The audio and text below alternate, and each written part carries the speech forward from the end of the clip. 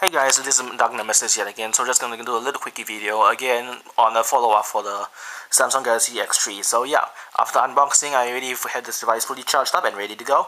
So uh, just gonna quickly transfer some videos. Good thing about this is as soon as you like plug into your USB, it takes a while for you to actually uh, install the integrated driver on it. So no CD required, and by the time you actually after about a few seconds, you actually had this as a portable device. It's just basically like a plug and play little media drive.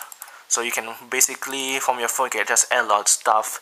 There's alarms you have it android applications. This should be your camera for all your photographs which you can access the DCIM folder. So quickly flash on that. There's also downloads there. There's even movies you can open there. So basically everything is already installed for you and classified. So by the time you are you you plug in this thing you all your files are already ready to be transferred or categorized for you so you don't need to wait that much.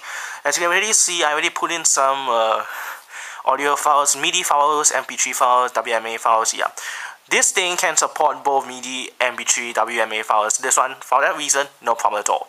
So yeah so that's basically one good reason for you to have it. Notifications even put ringtones in. So I only have two ringtones in which is uh, some ringtone and this is the show title that I always use every single every single episode of Gamers Haven that this is the show title I just put in there just for the extra bit of ringtone as well.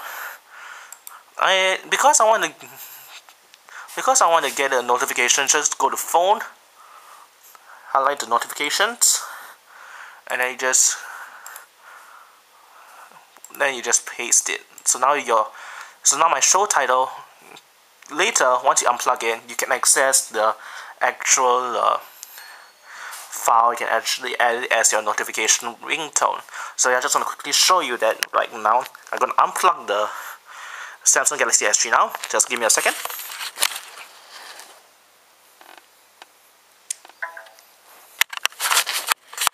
Okay so now we have the interface. I'm going to swipe the screen now to unlock. Okay so me if I can't really see that well. Yeah you have a player as well so settings what is it? I didn't ask to go over that. Uh, where's the back button? Settings. You can actually set your sound. So notifications. Do I have my show title in here?